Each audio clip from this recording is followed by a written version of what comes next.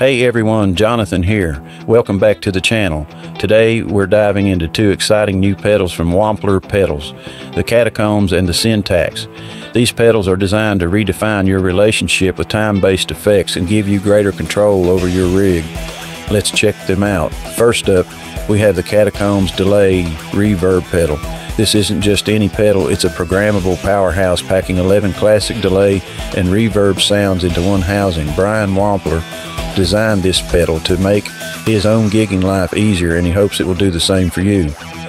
The Catacombs feature six different delays and five reverbs which you can run simultaneously. You can save your favorite settings into one of the eight presets and control them with tap tempo.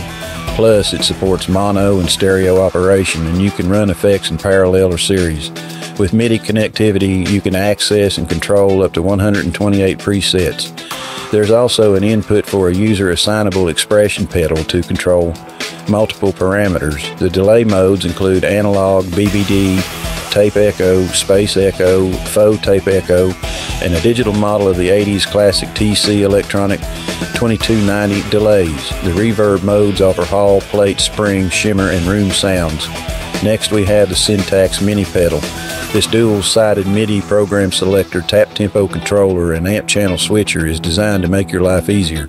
It does all this with just two foot switches and a pair of independent three-way slider switches. Set the slider to tap tempo and the corresponding foot switch operates the tap tempo feature on your time-based effects pedal.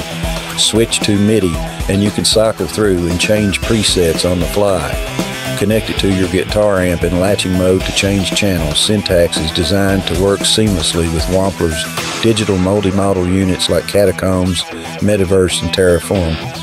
Both Catacombs and Syntax are made in the USA and come with a limited five-year warranty. The Catacombs is priced at $299 and the Syntax at $99. For more details, head over to Wampler Pedals.